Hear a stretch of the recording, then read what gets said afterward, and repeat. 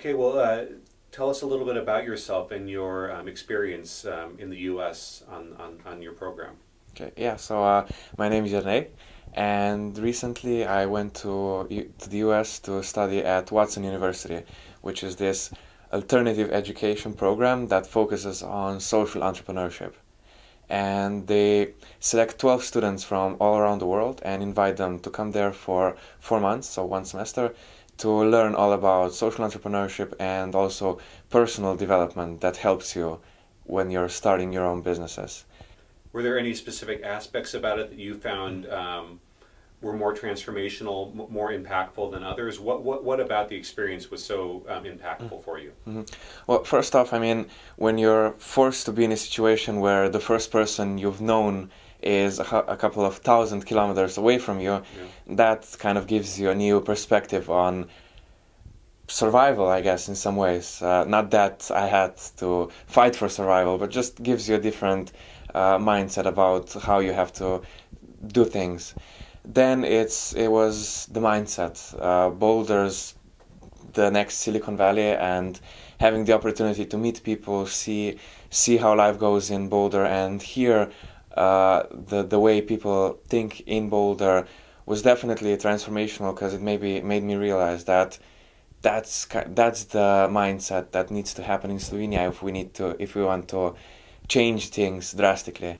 And, and, and, tell me a little bit about the, the this mindset that you um, kind of came across in the U.S. Is, uh, around entrepreneurship. Mm-hmm. What, what, what was so interesting to you? Mm-hmm. So one of my mentors said that Americans are basically born to be entrepreneurs because when when they came to this new land, they need to figure things out. They need to build from scratch, and that this is the reason why entrepreneurship culture is so present in America.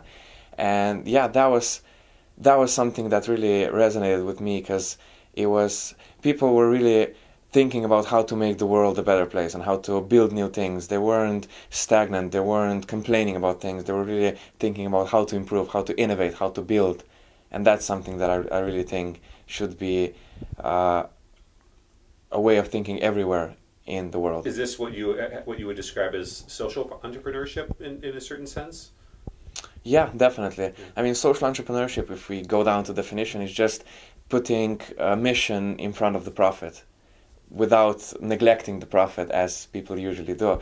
So that's that's what social entrepreneurship is all about. What from that experience um, are you excited to bring back here to Slovenia? Um, what from that experience in the U.S. do you want to bring back here? So I've learned a lot. That's that's the first one. There's a whole lot of knowledge that I want to share with uh, other people from Slovenia that might not be as present here in Slovenia yet. So that's the first thing. Then the the optimism.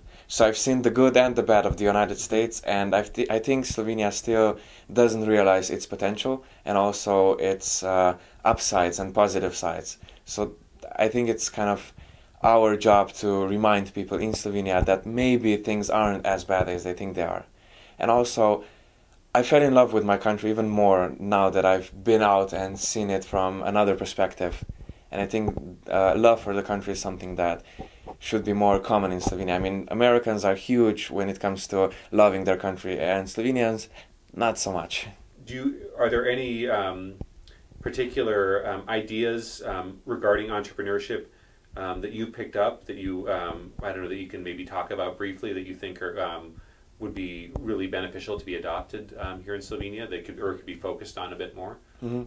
So recently, I've started working on quite a few projects that I found were aligned with what my vision for the future of Slovenia is. One of them is Ustvarjalnik, which is an organization that teaches entrepreneurship to high school students. Then another project we're starting up is some sort of a business accelerator in the, the region where I come from.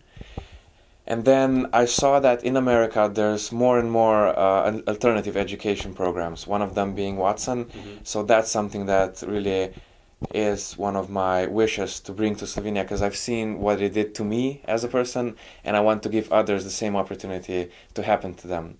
And then the last thing would be Unreasonable Institute, which is this business accelerator for social ventures.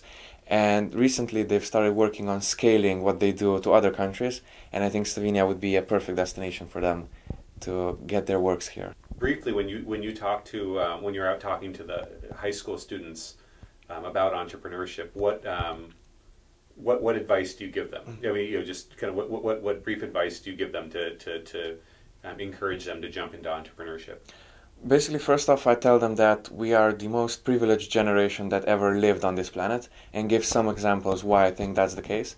And then I go straight into stories because people love stories, and that, if you want to retain uh, people's what's the word attention, you need to tell them stories. So I tell them stories about their peers that did amazing things and others that did amazing things and how they started, how the how the humble beginnings of some of the greatest companies were, and that's when they ask them at the end and say, "I've told you all about uh, how other people started, how they dared, how they had the courage to do it.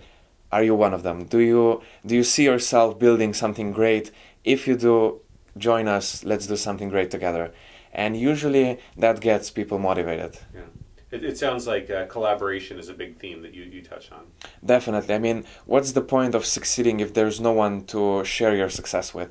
And also, what's the point of one person succeeding if you can adopt the model to have, I don't know, ten, tens of people succeeding at the same time and thus making this, the success even better, even bigger, and the impact on the environment tremendous.